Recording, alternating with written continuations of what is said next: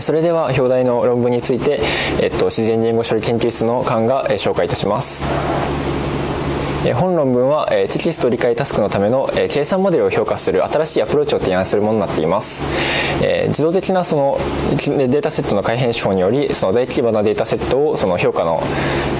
評価のデータセットとして用いることが可能になります。その、えーと、改変したデータセットを、えーと、2016年のテッドコーパスを改変して、えーと、評価を行行いました。ではイントロダクションです、えーと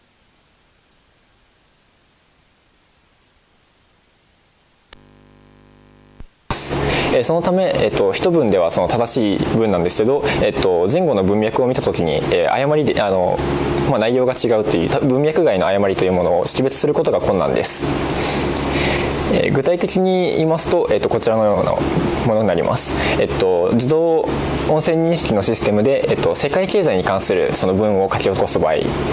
での、えーと、例になります。でえーとまあ、正しく、えーと発音えーと、発生しているもの分についてはこの上側の、えーと「There are great opportunities in the far, east」ということで、えーと、極東について、えー、と説明しているものなんですけれど、えー、とこのファーイーストっていうものとフォレストが、えー、と音声的に似ているということで、えー、と誤認識してしまうというものがあります。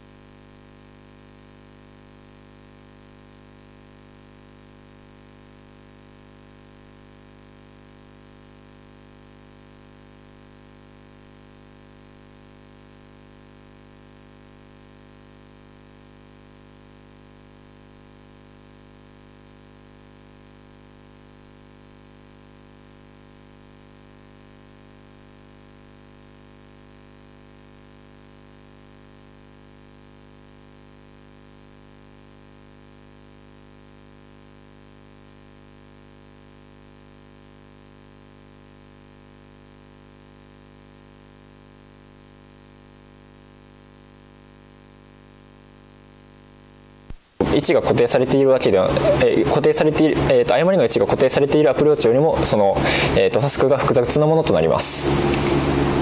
その、えーと、系列ラビリング問題ということで、えー、と具体的なデータを見ると,、えー、と各単語と,、えー、と01、えー、と誤っているか誤っていないかというような組み合わせの、えー、と連続となります。でこの例ですと,、えー、と0のところが正しい誤りのないえーと、単語になっていて1のところが、えー、これですと,、えーと、ショッピングですね。ショッピングのところが、えーと、文脈を考慮した場合にその文脈外の誤りであるといったような単語になっています。このような、えー、と日の、えー、と系列ラビング問題をとして、えー、と問題を解きます。ではその、えー、とモデルを評価するための、えー、とデータセットの、え作成手順に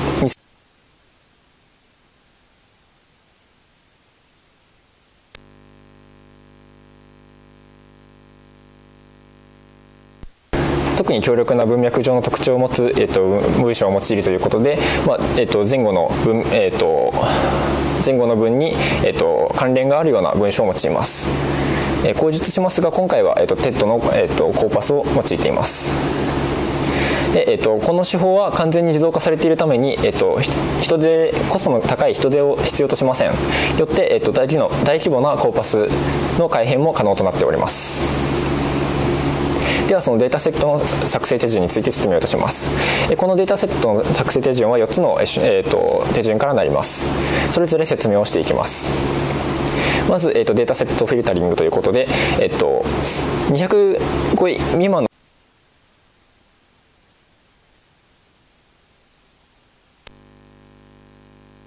行います続いて、えっと、ポスタリングです、えっと、今回その文脈上の誤りという誤りの単語文脈上誤りとされる単語を、えっと、挿入するために、えっと、品詞その挿入するのでは、えっと、単語の置換を行うんですけれど、えっと、その置換される単語を選択するために、えっと、まず品詞の付与を行います。でえっと、これは、文脈の中で特に、えっと、文脈というものは特に名詞にとって重要ということで、えっと、今回は名詞の置換に焦点を当てているためまず品詞の付与を行う形となります。で、えっと、ここで、えー、各単語の、えっと、品詞を付与して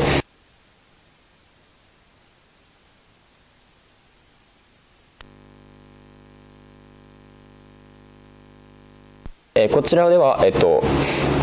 文章の一部に複数回出現している、まあ、短い区間で複数回出現している名詞というものがその区間の文脈を決定するというような過程を置いています、えー、そして、えーと、その名詞のリストの中で隣接するその10単語内の間に複数回出現した名詞のうちその最後の,、えーと、その複数回出現したその名詞、えーと同じものの、えーと、位置を置換方法とします、えーと、具体的にはこちらの下の例のようなものでか、えーとえー、説明いたしますとまあえーと、名詞が A から I まで、えーと、A, から C, A から C まで並んでいますが、えー、この中で、えーと、名詞の C というものが複数回登場しています。で、えー、となので、えー、と置換する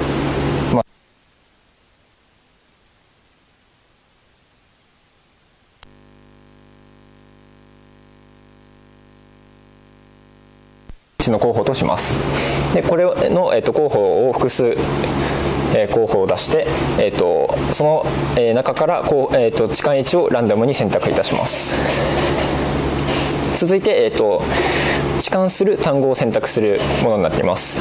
えー、とこちらでは、えー、とその元のデータセット上でその出現回数をまず、えー、とカウントしたものを、えーと、用いますカウントしたリストを用います。そして、えーと、その元のデータセットで、え、出現回数がその置換される、えーと、単語と同じ程度の、えー、と単語を、えー、置換する単語として選択いたします。この手法を用いることで、えー、とこの2つの、えー、と特徴を得ることができます。まず、えー、と同程度の、えー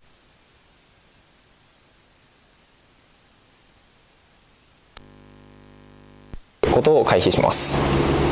また、えっと、その単語の出現回数というものはその一般的にその出現回数と意味には関係がないために、えっとまあ、置換される語から置換された語からその元の単語を、えっと、推測することが難しくなります。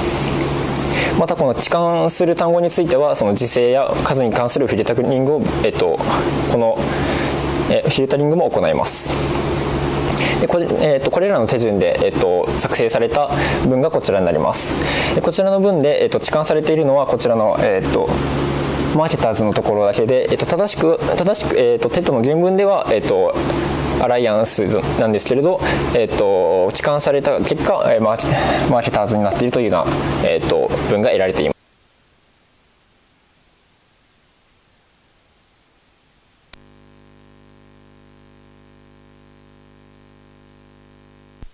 2016のために、えーと、公開されたEnglish TED コーパスを用います。でベースラインでは、えーと、 language model と、え binary classification model と、え human baseline を用います。簡単にそれぞれのベースラインを説明いたしますと language model が、えーと、 recurrent neural network を用いた教師なし学習モデルとなっていて binary classification model は、えー、と neural language model の出力層を、えー、と日とした、えー、教師あり学習モデルとなっています。ヒューマンベースラインについてはその人間がその、えー、一文を見てでその一文の中から、えー、文脈に合わない単語を見つけるといったような、えー、ものになっています。でこちらに関してはそのテストセットの中からランダムに10文を、えー、と選びで7人の参加者がその10文に対して回答するといった形になっています。では結果がこちらとなります、えっと、まず、えー、こちらでは、えっと先ほどのベースラインにあった、ランゲージモデルを使用して、えっと置換されている位置の、え単語の確率を、えー、と求めてそれをグラフにしたものとなります。横軸がその確率になっていて縦軸がその,、えー、とその確率のレンジに属する単語の割合となっています、えー、こちらの、えー、と結果から、えー、とまず原文の方に対して、えー、と上位25%に、えー、と属しているということから、えー、とそのベースラインの、えー、ランゲージモデルのランゲージモデルが元のデータに対して有効であることを示しています。またその置換されたものに関してですが、えーと、上位の25%以内にその、えーと、多く単語が、えーと、含まれているということからその、えー、と全体ではなく狭い範囲でその見た場合の、えーと、文脈に適した置換がなされている。ということが分かります。つまり先ほど、えーと、最初に、えーと、示したような、えー、と一文単位で見れば、えー、と誤りと分からないんですけれど、えー、と全体で見たら誤りと分かるような、えー、とものものが置換ものに置換されていることが分かります。続いてさらに評価するために、えっと、3つの、え先ほど説明した3つのベースラインで評価をいたしました。で、えっと、こちらの例で、えっと、分かることなんですけれど、えっと、まず2つの、えっと計算を、えーと、コンピュータで計算するこの計算モデルでは、えーと、F スコアが、えーと、低いことが分かります。で、えー、とすみません説明が遅れましたが、えー、とこの2つ F スコアがあると思うんですけど、えー、と左側の F スコアでは、えー、とテストデータ全体に対して、えー、と評価を行ったものになっていて右の、えーと、F スコアに関してはその人手の評価と比較するために、えーと、人手の評価でそのランダムに、えーと、抽出した10文に対して上の、えー、と2つのモデルを適用した結果となっています。でこちらの結果を見て分かる通り、えーとまあえーと、既存のその language model と,、えー、と binary classification model では、えー、とうまくえー、文脈外の誤りを検知することができていないということが分かりまた人間の評価でも、えーと、一文に対しての評価なので、えーと人間にとっても解決することが難しいというようなタスクであることが分かります。コンクリュージョンです、えー、文脈を意識した計算モデルを評価するための新しいタスクを提示しました。そして、えーと、文脈の意味表現に焦点を合わせたそのモデルのための、えー、包括的なベンチマークを作成しました。でその局所的なトークンのみを用いるモデルではその置換されたトークンの推定で困難であることが、えーと、人手でも困難であることが示されました。で、えーと、タスクのパフォーマンスを向上させるためには、えー、状況に応じたアプローチの提案が必要であると述べられています。以上になります。